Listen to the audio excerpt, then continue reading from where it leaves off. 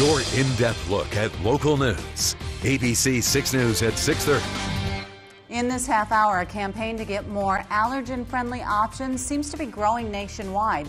We have a mom in studio who knows the extreme importance of teal pumpkins. We'll tell you all about that. And it's time to start thinking about getting your furnace going. A lot of us maybe already have. More on how to do it safely. But first tonight. Chaos, students pushing forward again.